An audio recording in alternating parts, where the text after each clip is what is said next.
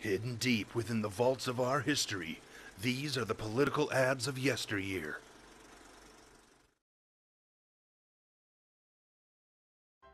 Hey folks, Eugene V. Debs here, America's premier Socialist Party candidate.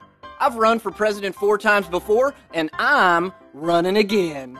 The only difference is, this time, I'm campaigning from prison. That's right, folks, I'm in prison. You may remember I urged you to resist the draft in World War I. Well, the United States government saw things a little differently. Under the Sedition Act, they locked me right up. So this time, it's more personal than ever.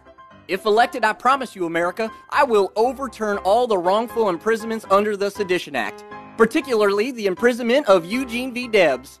Me! I'm willing to fight for your rights. So much so that I'm in prison. Can any other candidate claim they went to prison for their convictions? They cannot! Hey! I don't see anyone else in here. I'm so alone.